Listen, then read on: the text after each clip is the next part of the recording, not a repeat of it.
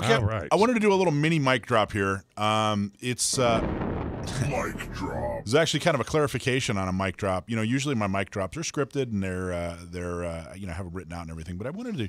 Well, last last week we went over the Republican Party and the, they endorsed an anti-gun guy named Hemmerling, and I wanted to clarify something.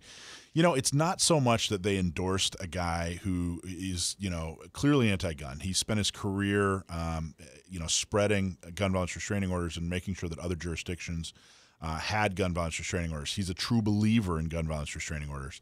Um, and he made that clear to us. He, he didn't back down at all. He said that gun violence restraining orders were good for gun owners, and that's about as bad as it gets. I wanted to clarify that it's you know with the Republican Party, it's not so much that they endorsed him. He was the only uh, Republican in the race.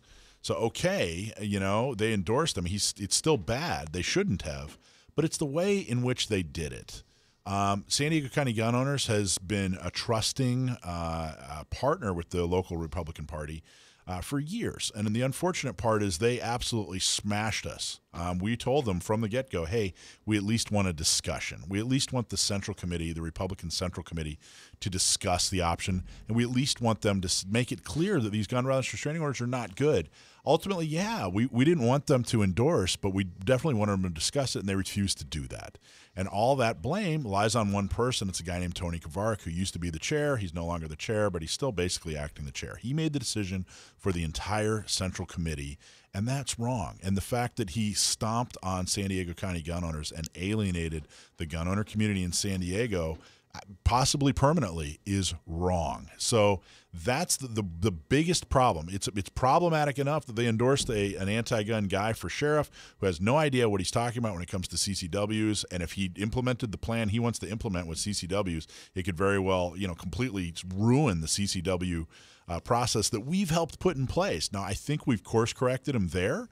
Um, but he's not going to be able to get away from his gun violence restraining order past, and the Republican Party is not going to be able to talk their way out of the way that they just absolutely disregarded, stabbed gun owners in the back. It's just you know, it, it- it's it's I th- possibly permanent damage. So, could you really tell us how you feel? That's how I feel, and I wanted to clarify and thank you all so much. Thank you for the outpouring of support from people saying, "Hey, Yeah. Mike, San Diego County Gunners did the right thing. The Republican Party's all wrong." Absolutely. But Thanks for watching this clip from Gun Owners Radio.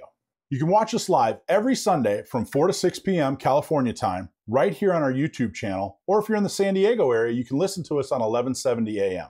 We're also available on your favorite podcast platform for free. Don't forget to like and subscribe so that you can help restore and protect the Second Amendment, not just in California, but across the country.